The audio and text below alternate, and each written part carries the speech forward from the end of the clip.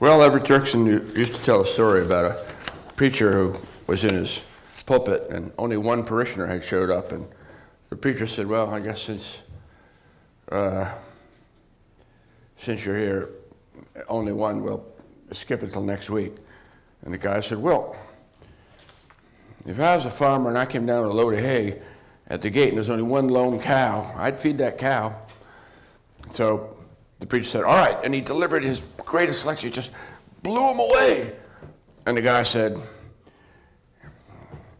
If I had a load of hay and there's only one lone cow, I'd feed that cow. But I wouldn't drop the whole load. I'm going to drop the whole load. It was a song of immense deliverance. Do you know that line? Very beginning of the final two page section about Le Shrugged. Well, Ayn Rand's work represents deliverance for many of us as individuals, potentially for her adopted homeland, potentially for the very role of reason in human society, perhaps for the future of mankind. I focus here on a different deliverance. I think that the quotation which captures the effect on Dagny of the music of a great romantic composer is germane to this sense of deliverance. Ayn Rand delivered art from the crushing dogma of realism, which she called naturalism, by resuscitating its opposite, the school of romanticism, after its near, near death experience. If art, as she says, builds the model defined by ethics, giving us the inspiration of meeting and knowing the ideal man, if art is the way a mind can be awakened to the world of moral values and sustained by the emotional fuel that art provides, then this was deliverance, most deeply personal to the individual. Let me make it personal. For me, the one overwhelming experience of objectivism was reading Atlas Shrugged. And at that moment, coming to love Dagny, Hank, Francisco, John. Just that personal, the experience of art. I urge you to consider today that Ayn Rand's resuscitation of the Romantic movement that to all appearances had died of its philosophical contradictions, was among her most original achievements. She did at least three needful things. She grasped the singular and irreplaceable role of art, but particularly romantic art, in human consciousness. In her teenage years, romantic art was still a contemporary reality, at least in French literature and music. She devoted her career to writing a romantic novel so great that no cultural killers could strangle it in its crib. Like the infant Hercules, Atlas reached out to seize the two serpents by their necks and never let go. She worked out a philosophy of art, of aesthetics, integrated into the structure of an entire philosophy of reason, egoism, and individualism. She set out the relationship of romantic art to metaphysics, epistemology, and ethics. And then she explained how her theory was psychologically actualized in the achievement of art's effects, including a child's development of a moral sense of life. Not least, like her idol Victor Hugo, she wrote essays about the glory of art, its sacred role in man's soul, and specific works of art, and did so in an astonishingly colorful, logically compelling essays. Readers who had never thought about aesthetics, art's role in a culture, and art's decisive impact on human development and motivation, sat up, frowned, and took notice. These were life and death matters for each soul, for any culture.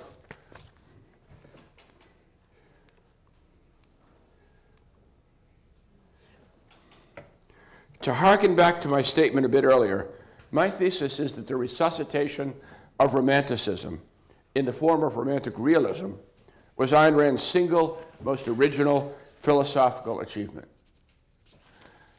But after all, why get into the irresolvable quibble? I mean, what was God's greatest achievement? That he created the female human breast? Or that he knew a good thing when he saw it and made two of them? In most of her philosophy, Ayn Rand is not a fount of new philosophical ideas, what we label originality. How could she be?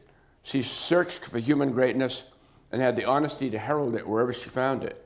Aristotle Thomas Aquinas, John Locke, Thomas Jefferson, in arguments against God's existence, David Hume, Adam Smith and some of the French philosophers, and then von Mises in the Austrian school, and in thought about how political structures free man's productive energy, Isabel Paterson and Herbert Spencer, in Romanticism, the great tradition that culminated with Victor Hugo. The fashion of 20th century philosophy has been a scorched earth originality. All philosophy before my school was diluted. Metaphysics is mere myth. Only linguistic analysis is truly doing philosophy. No abstract principles are valid. The truth of an idea is in its practice, its pragmatic results. Truth is not any given idea, it's your existential commitment to an idea, any idea, especially if it makes you nauseous. Ayn Rand's towering achievement was to identify by the most rigorous standards all the best in the Western tradition since Aristotle, ruthlessly select the essential and integrate it with a brilliance that multiplied its value. Then apply it to more contemporary issues than perhaps any philosopher and present it to new generations. We know she believed there were challenges she had to overcome in that tradition. Kantian school's mission to reinfect the Enlightenment, uh, the devastating contradiction of altruism with the requirements of man's life on earth and capitalism, uh, the vulnerability of the conceptual level of knowledge to attack from subjectivism, and the so-called is-ought problem. Ayn Rand discovered the Western tradition, appreciated the civilization it had made possible, and spotted its malicious enemies in their game. She told new generations in America, that's us here, that the historically unimaginable life we took for granted was made possible by those ideas, those intellectual heroes, and that we were under deadly assault, all that we cherished at risk, that the enemies of man and life on this earth had not vanished, only disguised their aim and bided their time. And she cried, Don't let it go. In discussing this with my brother Roger, he offered, as usual, an ironclad summary. She was the greatest modern voice of Aristotelian tradition, updating it to take account of Enlightenment political liberty and the productive virtues of the Industrial Revolution. The meaning of my presentation today can be captured by the addition of one clause to that summary to take account of the exaltation of the human spirit made possible by the Romantic Revolution. If Ayn Rand had been an associate professor at a good liberal arts college, say Kenyon in Ohio, since Ohio had very special meaning to Ayn Rand, and preached the value of the Western tradition, would we have heard of her? Her colleagues would have patted her on the head and smirked. Uh, everyone acknowledges the richness of the American tradition. But Ayn Rand understood how human beings become conscious moral agents, aware of right and wrong by whatever moral code, how they attach to their moral convictions the feeling, this is the best within me. Our heroes instruct our souls so that Jesus or John Galt becomes for us the image of our best aspirations. A hero, in simplest terms, is the embodiment of a moral ideal. A hero is morality and, more broadly, philosophy, up and walking. In answering the question, what is the goal of your writing, in this case, fiction writing, Ayn Rand answered to create the ideal man. Without this achievement, as she implies in discussing the role of art in projecting a moral ideal, her philosophy could not have prevailed, could not have prevailed against the total embargo by the academic world and mainstream establishment. But now let me add immediately, she didn't view art merely as a great way to get ideas across that were opposed by the culture. She writes that art is indispensable in conveying any moral philosophy. It's the only way. Here's the relevant passage. When we come to the task of defining moral principles and projecting what man ought to be, the results are almost impossible to communicate without the assistance of art. An exhaustive treatise will not do it, will not convey what an ideal man would be like, how he would act.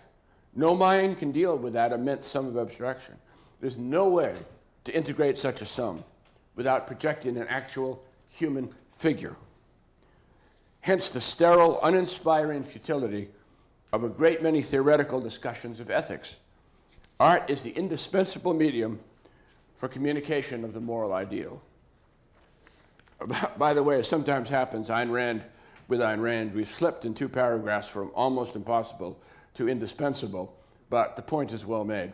On this account, she had no choice but to write her novels if she wished to launch her philosophy in the world. Unless, of course, she wrote her treatises and hoped an admirer would come along uh, and write the novels. That that's happened. Uh, Jesus was a philosopher, and the authors of the Bible, you know, wrote the novel. yeah. Uh, and, you know, Kant never wrote a novel, thank God, but some people wrote it for him. Ayn Rand's unique achievement was to identify Romanticism, but particularly the Romantic novel, as the greatest vehicle ever created to project an actual human figure, to project such a figure, not to describe it as in naturalism or realism. And then to realize that to make Romanticism the means of projecting a figure based on philosophy, especially in ethics, for living successfully in the world, her heroes must walk through the world we live in now.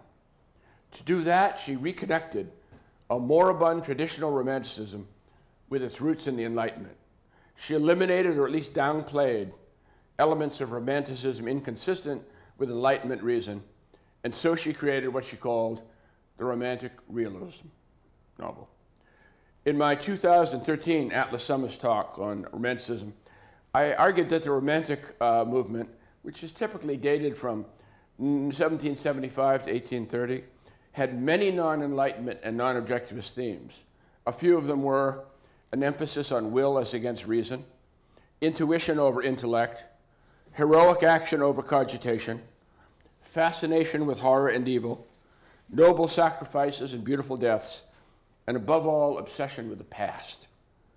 But I argued Romanticism, nevertheless, was one of the three great revolutions deriving from the Enlightenment.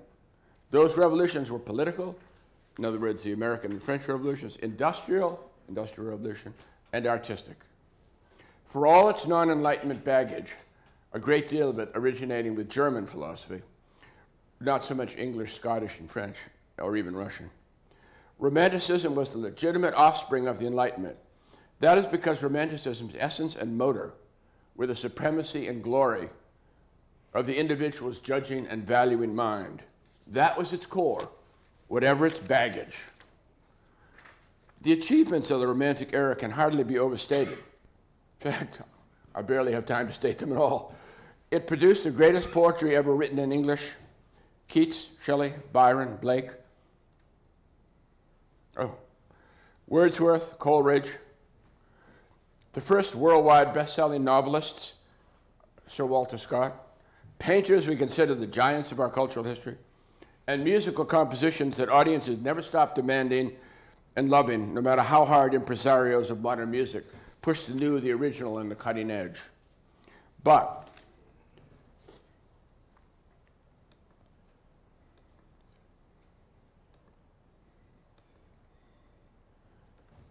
Okay.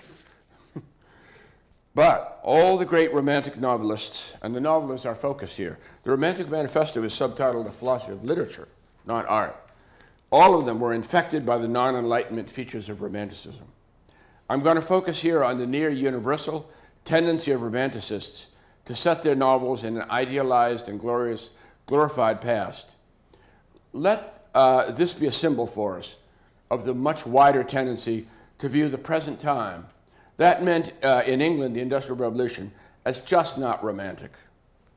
The past was viewed through a golden haze of nostalgia, as a time of lost glory. Thus, Victor Hugo set The Man Who Laughs, which Rand called the greatest novel in world literature, in the era of fearsome King James II, with grand courts, ravishing ladies, bold cavaliers, and mountebanks. In Poland, Hugo's great successor and the first and only romanticist to win the Nobel Prize in Literature, Henry Sienkiewicz, set his entire grand trilogy in Poland's past, Wars for Survival and Liberation. A Sienkiewicz novel that is a great favorite of objectivists because recommended decades ago by the NBI bookstore is Quo Vadis, set in Rome at the time of the persecution of the new cult of Christ. Ayn Rand called it one of the two single, single greatest romantic novels of all time. Nathaniel Hawthorne set the Scarlet Letter, which Ayn Rand called the greatest American novel, in Salem, a hundred years earlier. And Walter Scott, the best selling novelist of the Romantic era, set Rob Roy, Ivanhoe, Waverley, and all his other works in the past.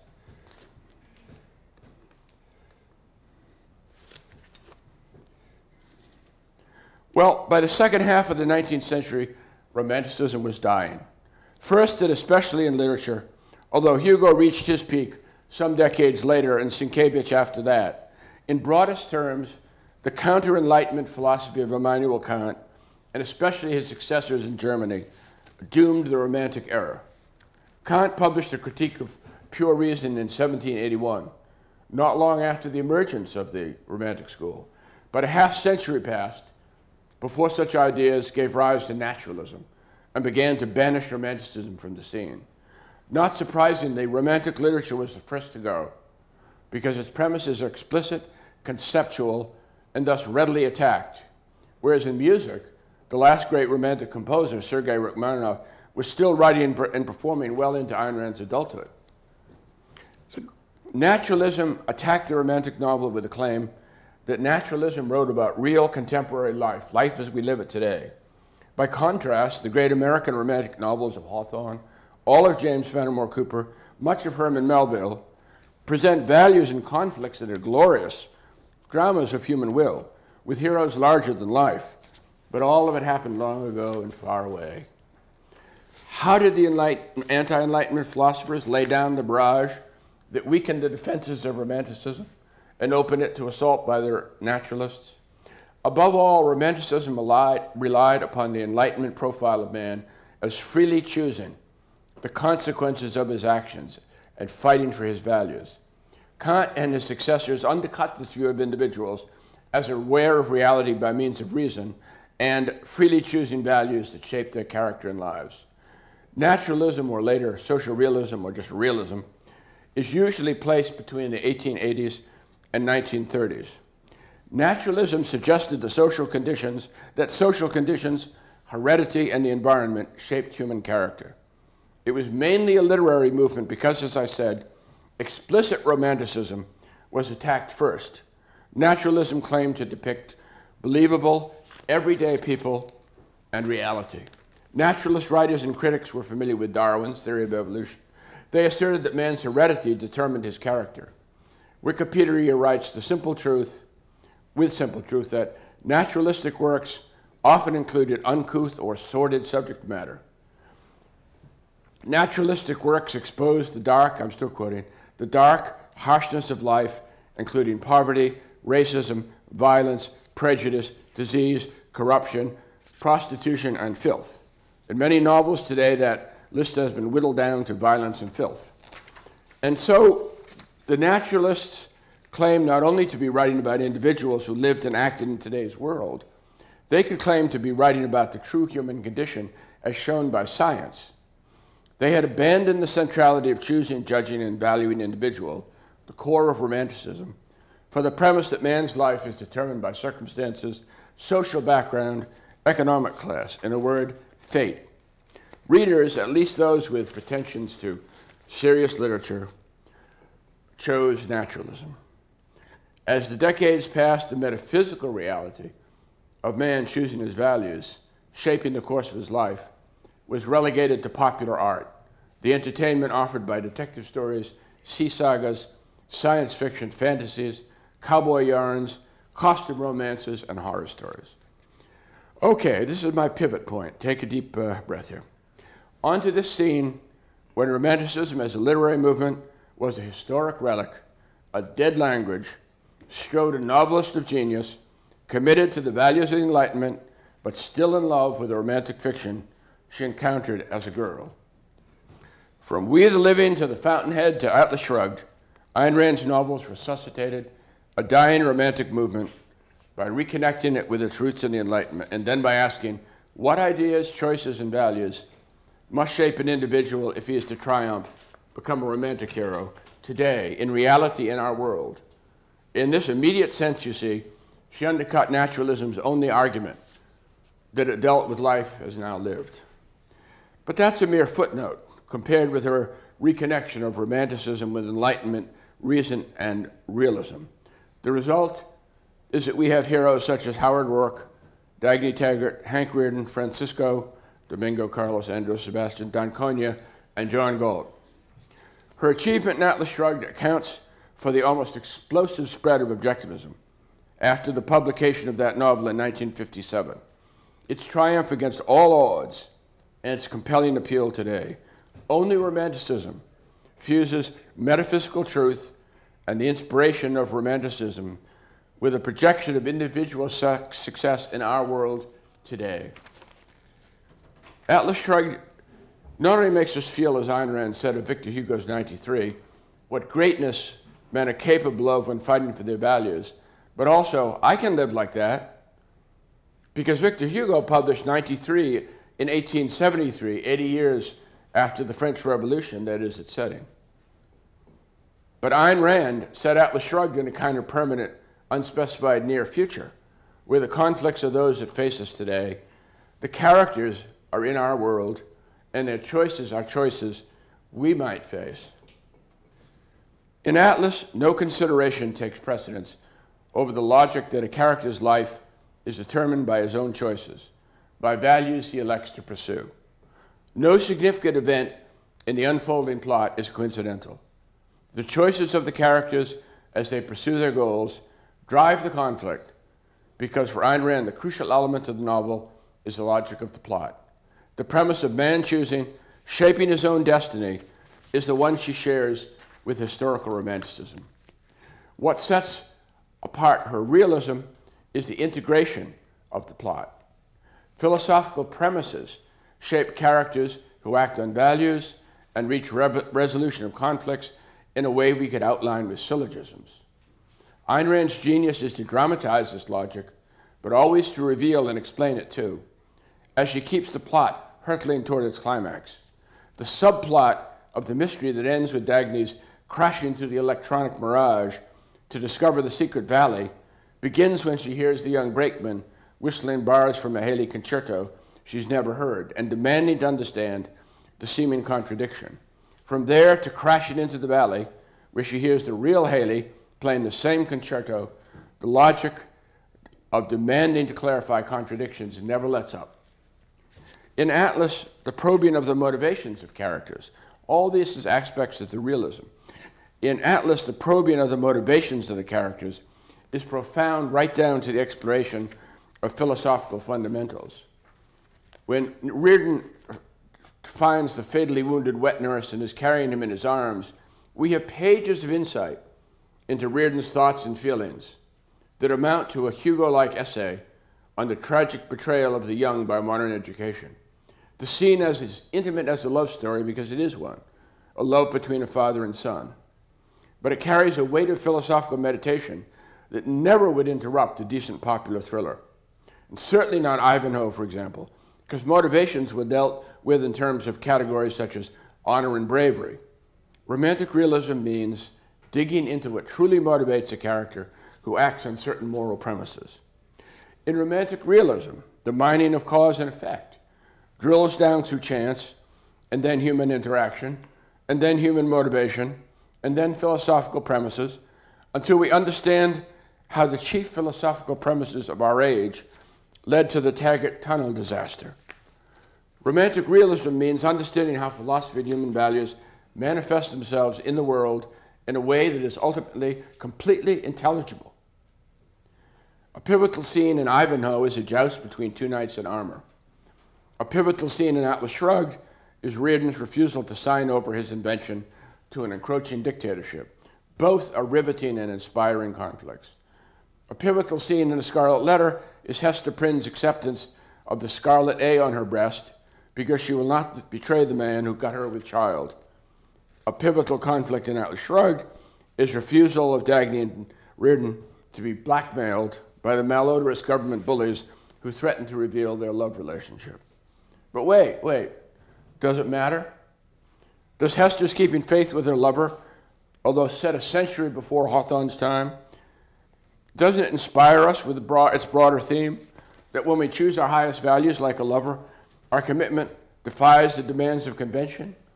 Isn't it as good as the portrayal of Dagny, defying blackmail based on her affair with Rearden? One answer is that no, it doesn't matter.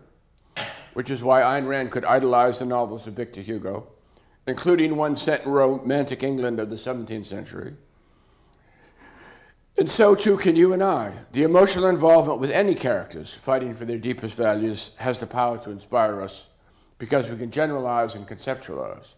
Another good answer is that historical romanticism dunned readers again and again with the message that human greatness, the glory of the battle for values, was to be found in some lost past.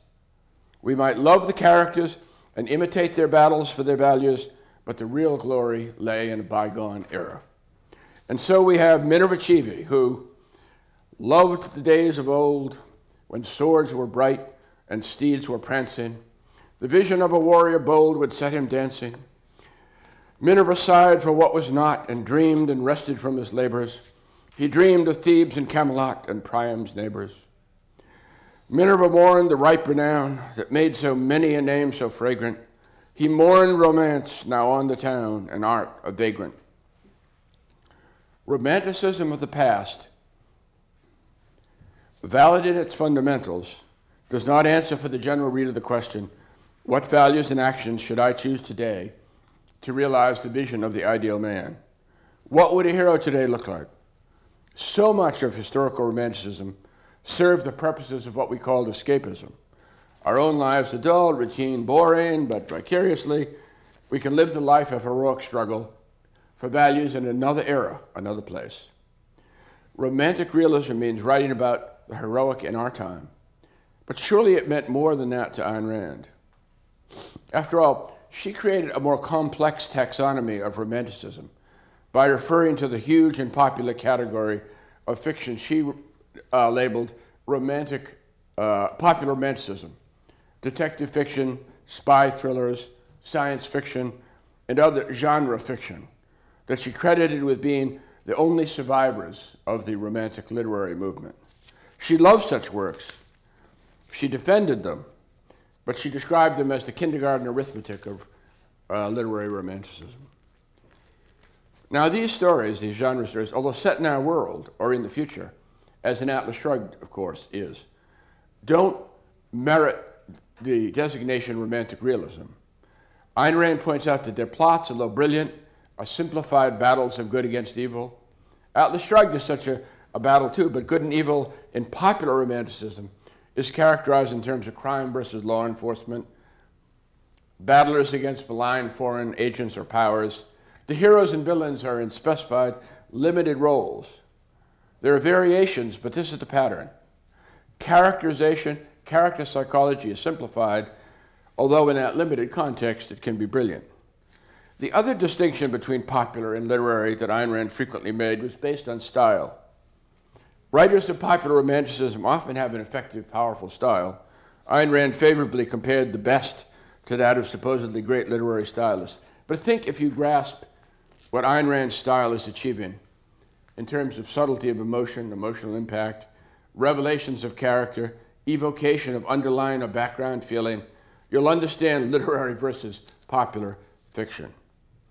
Those issues are familiar to many of us, but I want to raise another question about romantic realism. If a spy story or crime thriller or battlefield thriller is written, say, with literary merit, characters are psychologically subtle and revelatory, say, of the psychology of fighting for justice or the psychology of the criminal, do we have an example of romantic realism?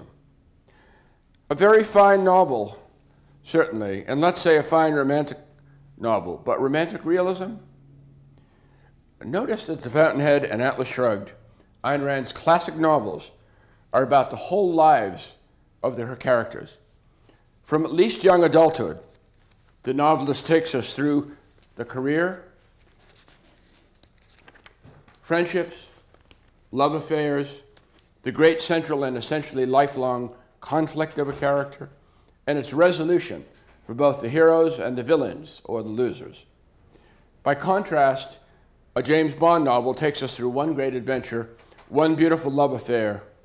A Mickey Spillane novel takes us through one encounter with crime. Most, although not all, popular romanticism is about an exploit. Let me ask this question. If romantic realism bids to let the reader experience how exciting and inspiring this life, when lived by values appropriate to man's life, then is the whole life nature of the Fountainhead and Atlas Shrugged accidental or is it essential? I'm not at all sure of the answer. Many questions arise. If a brilliantly styled novel about a professional spy deals with that spy's whole life, not only in an episode, but childhood or at least early development, education, formation of ideas and values, the conflict running through an entire career, marriage and its ups and downs and resolution, then I think we possibly have a romantic realist novel. But we don't have a good spy thriller. Because when I pick up one of my all time favorite novels from Russia with Love, I don't bloody want to know little James's travails in school, his soul searching about becoming a secret agent, the revelatory contrast with his brother's meekness and action, from whence arises his passion for his wife. I want to get on with it. Even Atlas Shrugged does not achieve the pace and sustained excitement of From Russia with Love, or for that matter, Mickey Spillane's The Girl Hunters. But we don't care because there's so much else going on in Atlas. It's excitement on an entirely different plane and scale. Is there anything in what I've argued today to support the conclusion that romantic realism, as Ayn Rand defined and practiced it, has been demonstrated to be the right form of the novel, that it eliminates the shortcoming of earlier types of novels, including traditional romanticism, that it is the one form of the novel arising wholly from the role of art in meeting those profound needs of man's consciousness that Ayn Rand discusses in the manifesto? For those in the know, is it the only way to go? This is a question, not a lead up to an answer. I do think that in the manifesto, Ayn Rand intended to make the case that the romantic realist novel is the pinnacle achievement of the novel.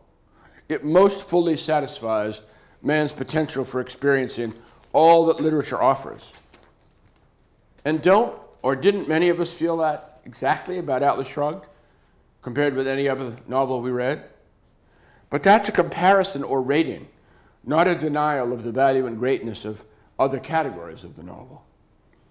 I'm not even sure I have spiritual room for lots of novels as total in every way as Atlas Shrugged, or even one more, do you? To begin to wind up things here, I'll remind you that in the Romantic Manifesto, Ayn Rand comments that there's no romantic movement. She hopes the book may foster one. The book was published almost half a century ago. Hmm, how time flies. By the strict standards I've set forth here, I'm aware of no novel of romantic realism written since Ayn Rand. Not a few admirers of Ayn Rand's fiction, and myself included, have written novels, but their work, uh, some of it most enjoyable, falls into the category of popular romanticism. That does not mean it's all crime or secret agent fare. Vinay Kolhatkar in the Frankenstein Candidate, published in 2012, writes about a political election with depth of idea and character and integration of a thrilling plot. Pendulum Justice by Dale Holling, he's and his wife, published uh, in 2013, pulls off an extraordinary story about a brilliant medical scientist who develops a cardiac surgery that could save millions but is stolen by corrupt Washington bureaucracy. In both novels are intimations of true literary romantic realism, but the authors are, and the authors are in early in their careers. My knowledge of objectivists and other aspiring romantic novelists is limited. I'm familiar with most of the novels in the sense of knowing the basic story, but I haven't read them all. But if no great work of romantic realism has appeared for well over half a century since Atlas and the Romantic Manifesto, and we're seeing nothing like the explosive emergence of Romanticism in the late 18th century. Half a century after the emergence of that, the movement had done its thing throughout Europe and America, though its momentum carried on much longer. But as I pointed out in my previous lecture on historical romanticism, it was a movement arising directly out of the Enlightenment, which in a philosophical sense peaked in 1700. John Locke died in 1704. In the next century, this philosophy yielded three great revolutions the political revolution for freedom, the industrial revolution, and the romantic revolution. In other words, by the late 1770s, an entire European and American culture had been influenced by the predominance of Enlightenment ideas. Our culture today has no such philosophical base. Ayn Rand was the sole giant in the 20th century fight to revive the Enlightenment and its three great revolutions. If a new romantic movement must depend upon a culture's underlying Enlightenment philosophy, then what surprise is it that no romantic movement has emerged? Only, essentially, writers influenced by Ayn Rand's philosophy and novels, and that is far too small a base as yet for anything remotely like a new literary movement. The tiny, minuscule really, number of true literary geniuses who initiate, define, and fuel such a movement must be drawn from a huge population base. You do not get John Keats, William Blake, Walter Scott, George Byron, and Nathaniel Hawthorne, to name just a few early Romantic leaders writing in English, by recruiting at one college. Not even that miracle on the banks of the Cam, which in any case was recruiting the best from all over Britain and beyond. Nor do we have the simultaneous explosion, the emerging of genius in painting, music, and drama that characterized the Romantic Revolution. We may no more expect a Romantic Revolution in our time than we expect a new Industrial Revolution or a new American political revolution. To borrow one of the most original and powerful titles Ayn Rand ever gave to an essay, because it spoke to the gathering illusions of an entire generation of objectivists in the 1960s, it's earlier than you think. Thank you.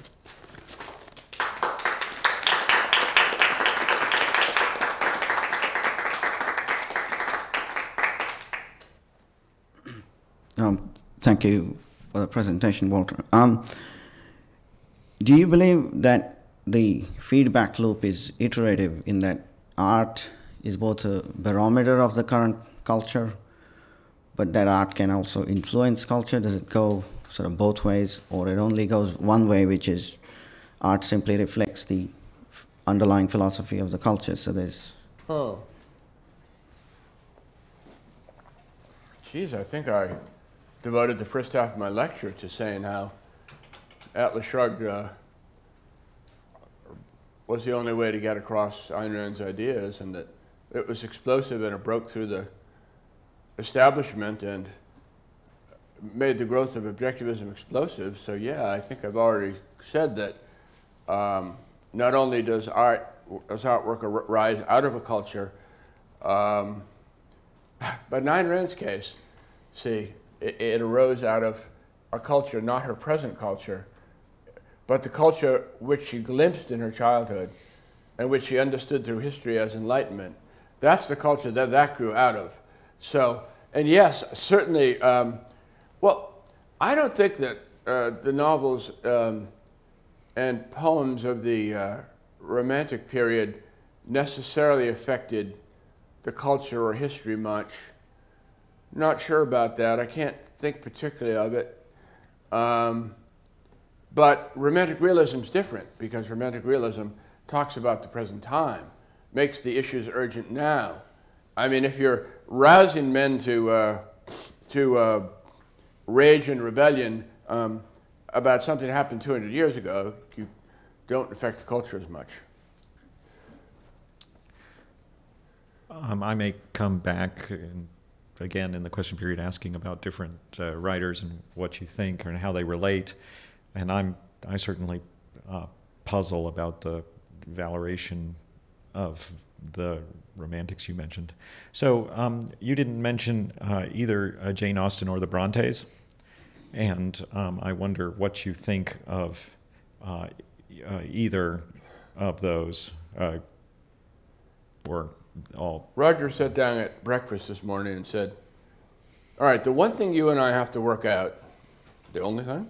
um, is why you've never read a Jane Austen novel or the one you started you didn't like and didn't finish. Um, I said, no. I said, well, I did like Wuthering Heights. He said, but that's romanticism. Jane Austen and um, Trollope and others are novels of manners, he said, not romanticism. They're not generally considered romanticists. You know what they're usually considered? there was a movement that came before Romanticism for about 30 years. It was called the sentiment movement. And it was reacting to classicism strictly by saying, um, you know, form's fine and ancient Greece is fine and Rome and it's beautiful and all the structure and everything, but you're really leaving out um, emotion. You're leaving out feelings. You're not. It's called the sentiment movement. You mean like Richardson and Burney? Uh, like uh, Goethe's um, Young Werther was the best oh, known. Um, Rousseau wrote uh, a novel, hugely oh. influential, Sentiment. Uh, that was the one. So I wonder if uh, Austen uh, came in that period of sentiment before the Romantic Revolution. Well, just as a code of this question, I would say um, Austen is certainly more. I, I would think I would suggest to you that you go back to Austen and to hell with what Roger says. Um, because you, oh, want, you, want, you want something about people pursuing their values, yeah. making serious choices yeah. um, in the real world. Yeah. That's what Austen was doing. Trollope, I can leave forever. But well, that's I mean some people really like that, but I just don't see the I see the romantic connection in Austen. That's all I'm saying. About that. Well, I read the first two chapters of Pride and Prejudice, and uh, not a shot had been fired, so I stopped. Persuasion, read Persuasion. Thank you, Walter, for a, a wonderful talk. I, would I'd like to ask a, a question about uh, hope or how you might see a romantic realist novelist evolve. And this came to mind in association with the career of Billy Joel, the musician who, of course, was a tremendous popular success uh, for some decades, and, and, and then retired from popular performing in order to write what was described in the articles as classical music, which he's never shared with us. Huh. So I don't know how good it was, but one could imagine a popular realist novel as that person matured, yeah. as they were secure, choosing to try to do more. And, and do you suppose there's hope we might see some great art well, from that path? uh, Vinay's novel and the novel by the uh, Holland team as two that I would categorize as uh, unusual or out of the uh, ordinary popular romanticism. But they're both uh, fairly early in their career, and I held out there might be intimations there of more. I've written four novels, none of them aspires to. Um, if I write another one, I think I'm just, I mean, no sense proliferating novels I've written so far. I think I'm going to try to write a, a serious literary novel. We'll see. Um, so, yeah, it's the same impulse. Popular writers can be extraordinarily good stylists. Um, I think many of them are, you know, perfectly intellectual and, and deep. So why not, in fact? I mean, Ian Fleming was a very, very bright man. So. We'll have to see, won't we? I don't know. One of Rand's statements in the Romantic Manifesto, is she takes the novel and she's writing that, I think, in the late 50s, uh, as the, the manifesto was published in 62. So, yeah. As the predominant form of literature, as at, the, at that time, right? And based on the numbers that I had had in my presentation last year, I think it's arguable that the screen is now the predominant form of literature, screenwriting. I'm not hearing right. Sorry, excuse me, my throat. That screenwriting is now the predominant form of literature, at least in terms of its ubiquity. In terms of the average person reading no more than one novel per year and watching perhaps, you know, I don't know how many hours of television it is, yeah. but you know, if you include part of that is television drama, how many movies on DVD, etc., etc., etc. So there's about five to ten times as much consumption of yeah. screen story by the average individual as compared to the written story. And is it possible? Because I see a lot of um, hard choices that people make and events driven by choices, not necessarily for good ends, because there's very dark characters. But is it possible? Yeah um, for a romantic movement to, to arise on screen. No, I mean um, more than the popular yeah. one, which is in blockbusters. You know, to some extent, movies and um, television shows and serials have, to a significant extent, depended on novels uh, to generate the stories and such. And um, in that way, I, I, mean, in that way, the novel goes on as still considered, you know, probably much more serious than than most films. Although they're the so-called serious arts films and all, but I don't know. We haven't had much experience. You know, it's just something new that's emerging. Could a new romantic realism emerge from that? I don't see why not. I don't see why the the uh, medium would change it. I don't think a new romantic realism could emerge from painting or music or sculpture. It's not conceptual enough. It doesn't. Um, it doesn't present romantic heroes in a way that um, Ayn Rand described as essential to conveying a morality, to showing the model of ethics and all. It can inspire and symbolize that for sure, and does. But I don't think that romantic realism could emerge just from them. I think it will have to be more conceptual and more able to present uh, ethics. As I said, do you think maybe um, the romantic realism novel has to be a whole life novel? I was arguing that maybe it did. I mean, I was raising the question, maybe it did, because if you're presenting the role of values in human life, um, uh, they're most of all characterized by the whole life development, longevity. I mean, that's the crucial judge of values is a man's life. As someone said, reckon no man happy until he's dead. That was the one that was about to be burned at the stake, who'd been a successful king all his life, and he said that. And the story is the guy who was going to burn him was so impressed he let him go, but I don't know.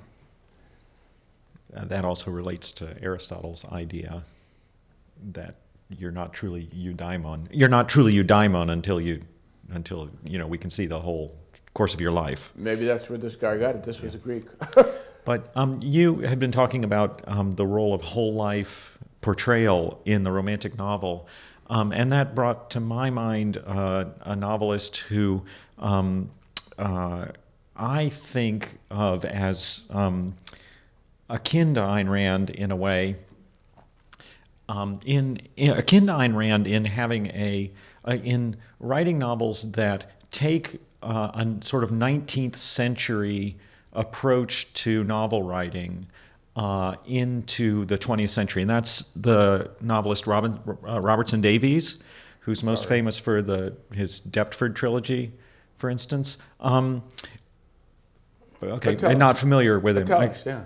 um, but uh, serious novelist. Um, uh, another candidate for uh, perhaps uh, modern romanticism in a slightly different mode, but one of the things that's characteristic of his novels is that they're almost all portrayals of someone's life.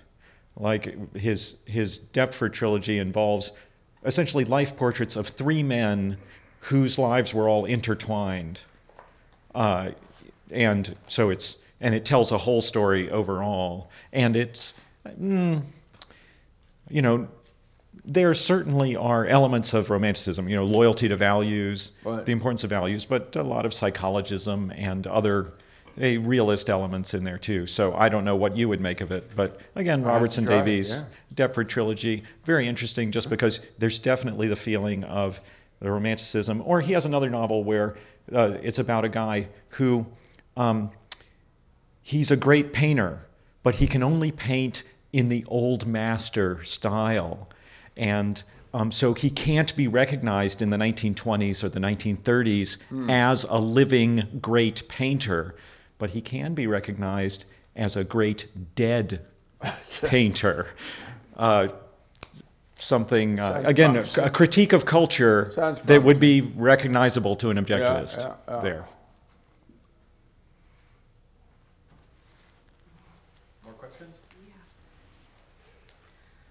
I'm going to counter that quote and say, with a different quote, um, this is perhaps the end of the beginning. Okay?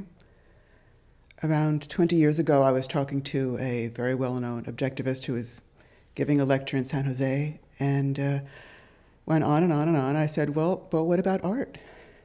You know, what about writing? What about novels and paintings, and he said he like did not understand. He said, "But we have the greatest artist." it's like duh. But we have a what? But we have the greatest artist. You know, like That blocked a lot of people for a long time. yes, yes, and I think during Ayn Rand's life, nobody dared to try to, no objectors dared to try to write a. and so I do think we're at the beginning of something, Well, it's been 50 years since Atlas Shrugged. and I think a lot of rationalism has gotten in the way. Well, could be, but it's been a long time since she did that. It takes a long time to make a writer. yeah. Yeah. I mean, you usually think of something as an explosive start, then it gets started. But um, it was an explosive start. hmm Well, the philosophy is still going strong from that initial Big Bang. And there has not been the uh, interest in creating. There's been the interest in teaching. There's, it's been very and it's academic. interesting that in the last decade or so, it's so many uh, people have started writing novels hmm who are admirers, a, a, a slew of them. hmm There's a list on Amazon. Somebody made up a list of uh, all of the novelists uh, influenced by Ayn Rand. There are certainly 25. hmm So don't be so hopeless. But I don't think there are any romantic realists in that list that I know of. I think they're all genre. There are a lot of there's a lot of writing in genre because that's where you get the sales. If you want to be a writer, you have to you have to Hmm. find your audience. Yeah. Yeah, maybe. So smile.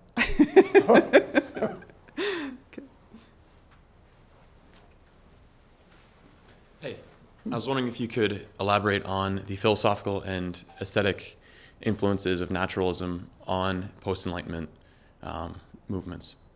So you mentioned um, when naturalism came in, it came, got more, much more fatalistic, much more deterministic, and that um, that philosophical change from free will and from um, self um, self direction had a tremendous aesthetic effect. I, would, I was wondering if you could elaborate upon that.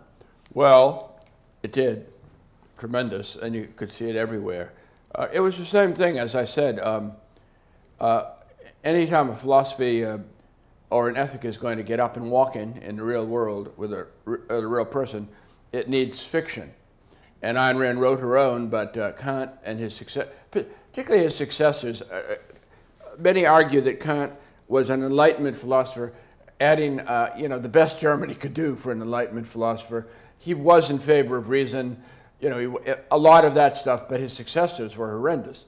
They got worse and worse. Um, Stephen Hicks makes that point extremely well.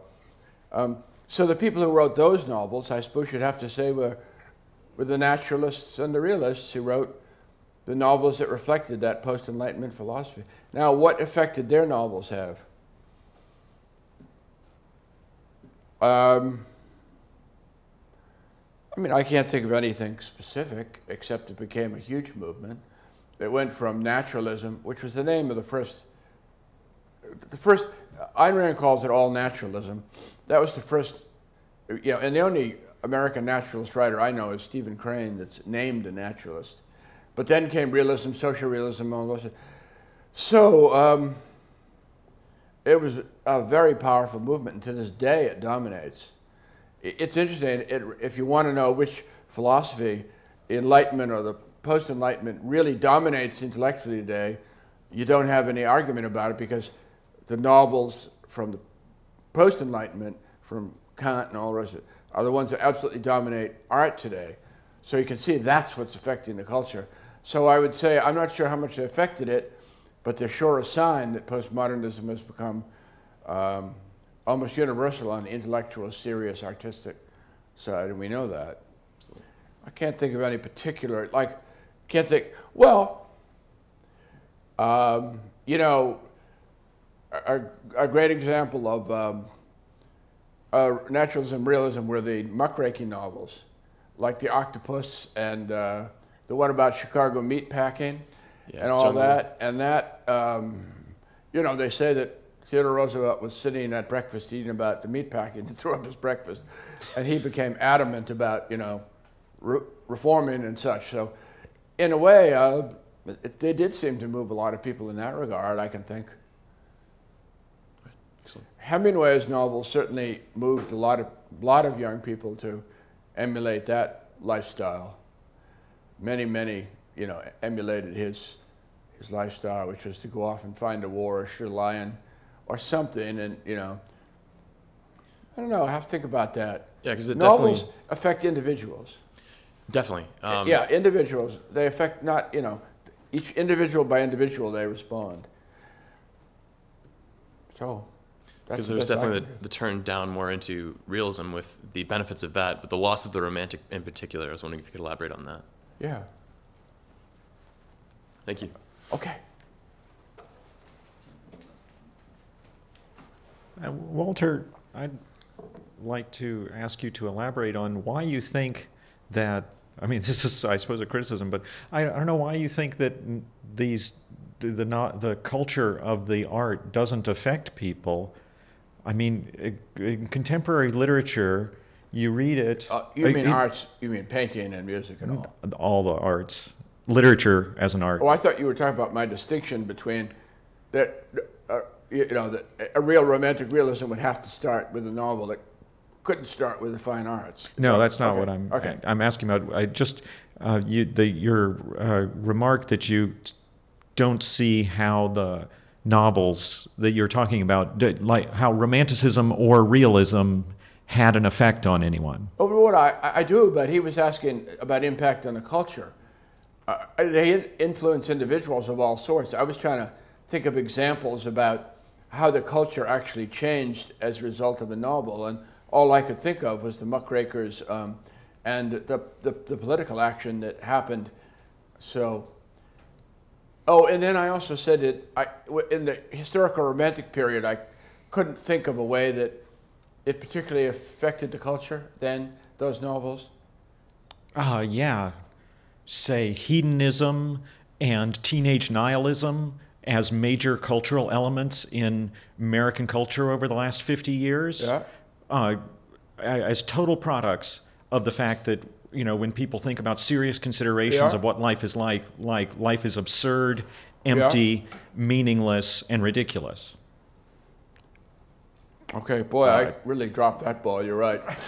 I mean, if you think of um, if you think of the mindset that a whole generation marched off with after Catcher in the Rye, you begin to get a little sense of it. No, I was caught a little short on that one. Of course, um, you know, I think a lot of that comes from philosophy, and we're talking about transmission belts, and one of them surely is fiction.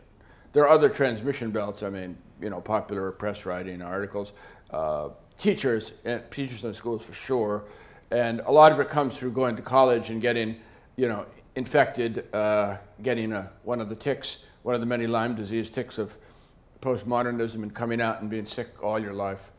So, so yeah, no, I think that's right. Novels certainly uh, um, have an effect on people's sense of life. I'm not quite sure, you know. Because on the other hand, you know what they say? They say that the novels you like are because of your sense of life. That you like the novel, you uh, absorb it, you get excited about it because of your sense of life. That that's the way it works. So arguably, kids who wrote, who had a, didn't have that sense of life to start with, wouldn't like those novels anyway.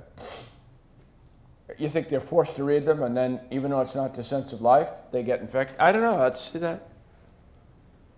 We'll have to discuss that Yeah. some more later because our time is running out. Yeah. Thank you yeah. very much. Thank heavens it ran out. Yeah.